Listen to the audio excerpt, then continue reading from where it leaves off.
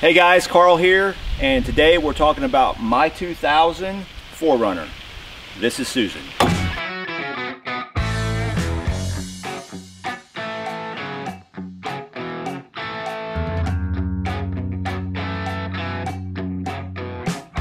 So Susan is 22 years old, going on 23, and she's a third gen 4Runner.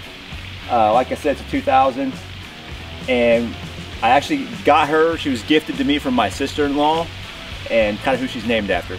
Uh, but whenever I got her, she was bone stock. And so basically everything I'm gonna show you guys, I'm just gonna do a walk around, walk through, and show you everything I've done to Susan and what makes her like the ultimate overland slash hunting slash camping vehicle. I mean, just a really, really great platform for anything outdoors. I've been down to Tennessee multiple times, up to Wisconsin a couple times, Michigan, had an early bow hunting trip up to North Dakota and back. Uh, just very good, reliable vehicle. So here we go. Starting here at the front, this is an ARB bull bumper. Uh, this is actually uh, numbered and slated for the first gen Tacomas, but they, with a few minor modifications, they go on the third gen Toyotas. Uh, hidden inside the bumper here, I have a Smittybilt X2O 10,000 pound winch. It's got, uh, I believe it's half inch Amsteel uh, line on it uh, for recovery. I've got some shackles up here on the front. Uh, this is a little custom grill, kind of a DIY project, partial DIY project, gives it a nice look come on around over here. Uh, this is the, the, tire and wheel combo I went with.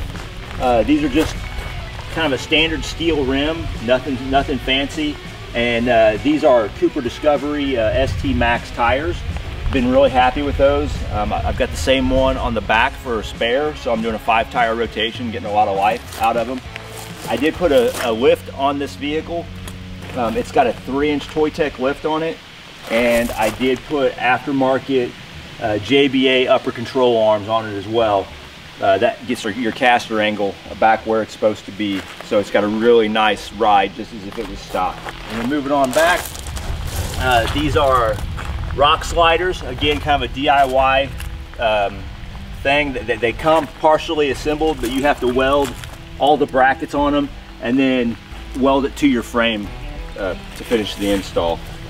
So uh, those are a nice touch. Protect the sides and it actually helps me get up into my, my Roam boxes. We'll actually go to those next, or up top. So working our way up, these are WeatherTech, little rain shields, or whatever they call those things. This is a um, Sherpa rack. This is called the Matterhorn. It's made specifically for the third gen 4Runners, so it goes front to back. Really, really strong. It's like laser cut aluminum. It's got a 80-20 cross member, so it's really stout. I've got twin Roam boxes. These are the 83 liter boxes, and they're on their custom mounts that Roam makes for them as well. So I've got padlocks on all four sides, but you can, after you take the padlocks off, these things literally un, unfasten and come off of the rig in just, you know, seconds. Inside their own boxes, I mainly keep recovery gear. I have um, you know, some uh, a little bit of foul weather gear, some gloves. I've got a braking bar, a couple larger wrenches on the other side, a couple dynamic tow ropes, soft shackles, just pretty much everything I need for self-recovery if I do get stuck. So that's more or less what's in here.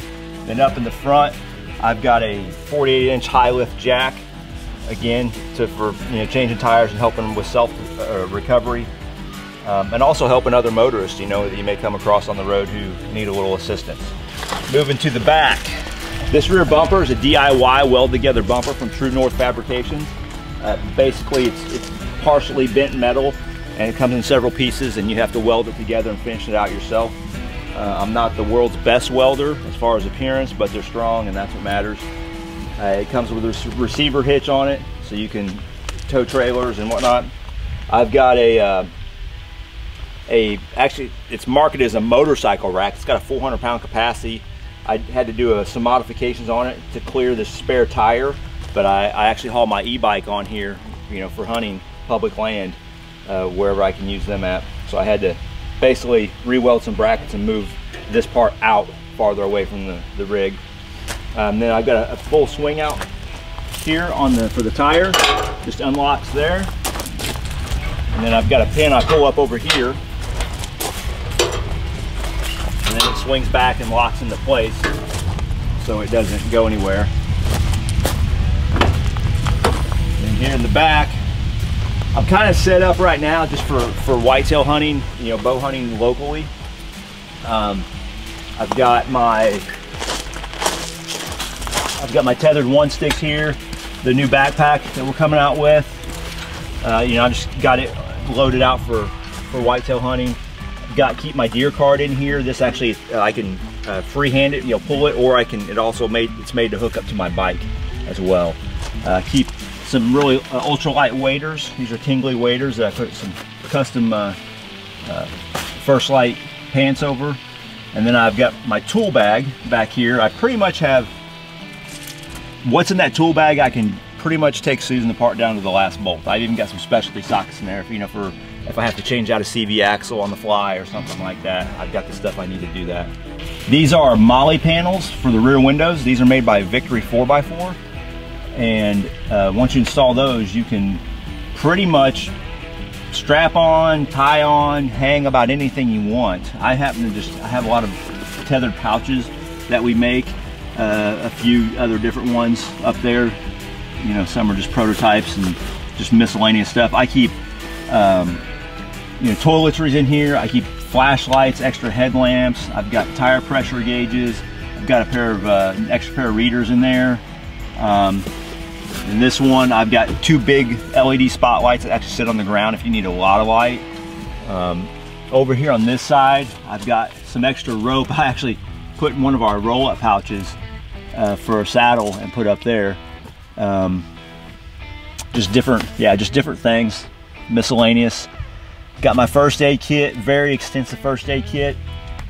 Um, I, have got that from uh, Uncharted, really cool company for, for uh, any type of outdoor adventure, emergency type uh, save yourself gear, I guess you'd say. I have a jump pack in here. This thing's come in handy a lot. Uh, I do have jumper cables as a backup up in one of my Roam boxes, but this is just a jump pack that works really, really well. It's They say it'll jump like a diesel truck like six times, you know, with two batteries. So it's more than enough for, for the 4Runner. It's pretty much it back here. All right, we get inside here. I've done actually quite a few upgrades to Susan on the inside as well. Some of them just aren't quite as noticeable. I put upgraded every light inside to LEDs, even the uh, the dashboard lights, you know, for the speedometer and tach. I put a, a, double DIN aftermarket radio in. I use an Apple iPhone, so it, ha it has CarPlay on it, so I can run my GPS and, and different things in there. Uh, works really, really well. You know, back dome lights, again, LED. So the, the inside's been upgraded as well. Um, that's about it for the front. All right, back here, um, I have some little custom mounts I made to hang my my longbow here. Uh, my compound bow will hang here as well. Uh, again, kind of set it for, for hunting locally. Got my saddle back here and you know my, my Predator and Predator pack, rattle and antlers. And uh, generally there'll be a few more miscellaneous items. I might have some drinks or you know just extra pair of boots or something like that in here. So that's pretty much it. So I did put a snorkel on Susan. And no, I don't do a lot of deep water river crossings. Um, that seems to be what most people think that they're for. Uh, my wife did ask me after I put it on, why did you put a periscope on your 4Runner? so yeah, it's it can look a little odd to some people.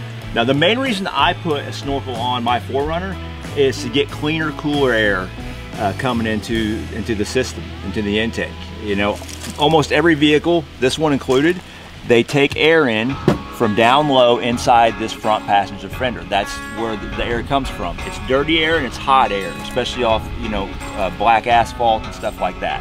So to get the air intake up here is gonna get you cooler and cleaner air. That was my number one reason for putting this on, and it looks cool. So this is Susan. I hope you enjoyed that walk around. And if any of you guys are planning on maybe getting an older vehicle to turn into some sort of a hunting rig or an overland rig, maybe this will help you out. Now, you don't have to do everything I've done. You know, you can get pretty ridiculous with some of the stuff you can do. There's so many aftermarket things, especially for these third gen 4Runners. But you know, go out and find you one before the prices get out of hand because they're pretty popular rigs and just enjoy it. You know, you can take it bone stock and they're such a capable vehicle and they're so reliable and they'll just go about anywhere. There's just a few minor little things uh, just to be aware of, you know, for, for these 4Runners, but it's nothing major. But yeah, it's it's not what you buy, it's what you build. So you can totally, you know, just DIY the crap out of something and make it your own, which is kind of what I've done here. So that's Susan. Hope you guys enjoyed it. Go out and find your rig and do it up.